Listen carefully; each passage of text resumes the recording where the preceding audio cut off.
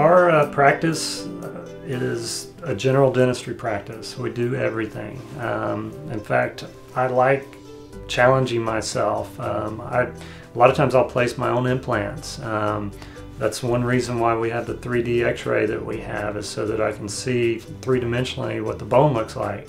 Can we get an implant in there? Sometimes I can do it computer guided, uh, placing the implant. But we do root canals, we do fillings, we do crowns, cleanings. Well, basically everything that you need here is uh, can be accomplished at one place.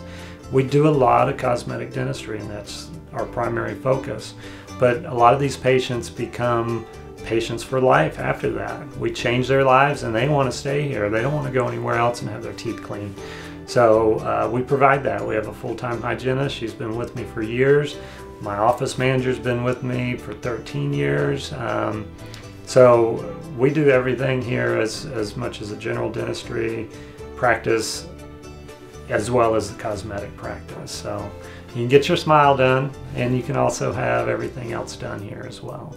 And if, if you ever need to be referred out, I've got a, a, a number of specialists that I use that are probably the best in Austin that I can refer you to. So you're in good hands.